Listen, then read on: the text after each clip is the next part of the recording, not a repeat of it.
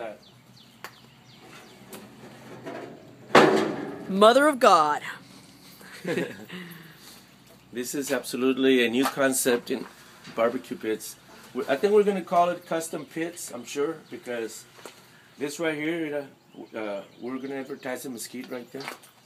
Oh, you got some mesquite up in there. Uh huh. Hey, that mesquite over there was all wet this morning. Sí, pero no, no se hace nada. Okay. This this right here is is uh, really not for for this. You can keep maybe a small maybe uh, bags of ice with beer for beer and all that. But that right there, you know, for the ashes. This thing's like out right to clean it out and all that. A brand new concept and okay, watch this now over here. There's a bench. Yeah, it's got a bench, pero you have to. eh, these se levantan para arriba. Those things raise up. Yeah, both sides, so they'll be completely up, and then you it seals into it, and it doesn't get very long.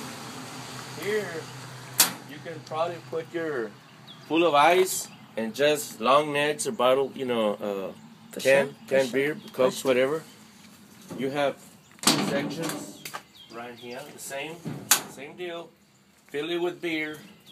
Now, right here, you'll see what, what this does. So, See this right here? This is where you keep all anything that, drugs. yeah, whatever. but see that? Look at that. So this is for the leña, for the mesquite. You fill this up with mesquite, and these are the bars that hold, Those things up. yeah, that hold this thing. Damn, this is sweet. So we can uh, we can actually make the helmet in any uh, your favorite team, right? So what do you think? I like it. I like it. Uh-huh. I think that uh, we could probably mass produce these. That'd be cool if you can uh, make these things into some right? some storage. Yeah. Storage. Cool. So you can buy it just the pit itself. Yeah, you can just buy the head, and uh, that's a big head right there. That's some good head right But, there. but look at that. So now what we're saying, what we're saying is that your team, we can totally do that. We're gonna reverse the process, right? We're gonna close. It's cooking. You close it up, and uh, that meat old boy's gonna take care of your meat right there. So can the eyes turn a certain color when it's ready? I would say that that would be Amazing. amazing, but right now, Emmitt Smith's pissed off is what he is. Yeah. All right, here we go, and everything is lightweight. See, look at this. It's all steel, half inch steel. All of it.